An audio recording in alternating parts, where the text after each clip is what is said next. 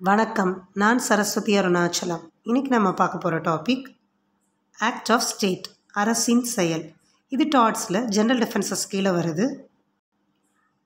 ஒருவர் தன்னுடைய சுப்ரீம் பவரை எக்ஸசைஸ் பண்ணும் பொழுது மற்றொரு ஸ்டேட்லேயோ இல்லைன்னா மற்றொரு ஸ்டேட்டில் உள்ள பிரஜைகள் மீதோ ஏதாவது ஒரு செயல் செய்கிறாரு அப்படின்னா அதை வந்து சாதா முனிசிபல் கோர்ட்ஸில் வந்து கொஷின் பண்ண முடியாது.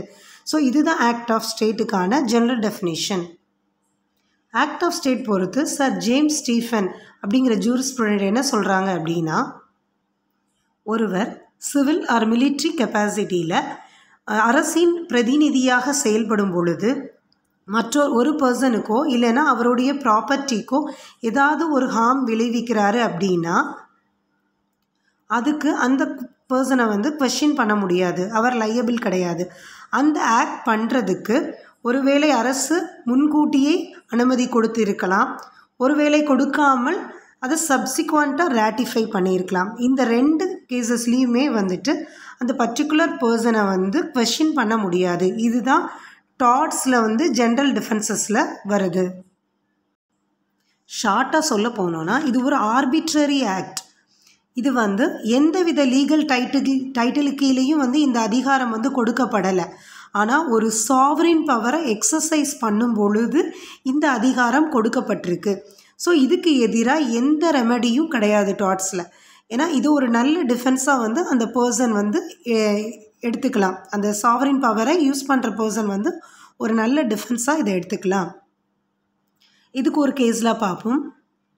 பரான் வெர்சஸ் டென்மன் இந்த கேஸில் என்னென்னா பிரிட்டிஷ் நேவியில் உள்ள ஒரு கேப்டன். அவர் பேர் வந்து டென்மேன்.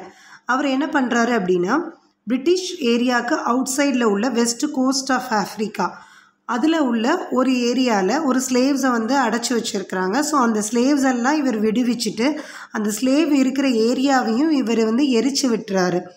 ஸோ பிளைண்டிஃப் வந்து என்ன சொல்கிறாங்கன்னா இதுக்கு டிஃபெண்ட் அண்ட் லையபிள் அப்படின்னு சொல்கிறாங்க ஏன்னா அவருக்கு எந்த அத்தாரிட்டியும் கொடுக்கப்படலை. இப்படி ஸ்லேவ்ஸை விடுவிச்சுட்டு அதை எரிக்கிறதுக்கு எந்த அத்தாரிட்டியும் கொடுக்கப்படலை. ஸோ அவர் வந்து லையபிள்னு சொல்லிட்டு பிளைண்டிஃப் கிளைம் பண்ணுறாங்க ஆனால் பிரிட்டிஷ் கவர்மெண்ட் என்ன பண்ணுதுன்னா அவருடைய ஆக்டை ரேட்டிஃபை பண்ணிடுது ஸோ பண்ணிவிட்டு அவருக்கு எதிராக எந்த ஆக்ஷனும் எடுக்க முடியாது.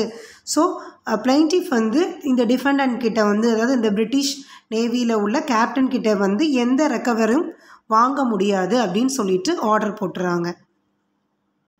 ஸோ அரசின் செயல் என்பது டாட்ஸில் நல்ல ஒரு டிஃபென்ஸ் இந்த வீடியோ உங்களுக்கு பயனுள்ளதாக அமைஞ்சிருக்கும்னு நினைக்கிறேன்.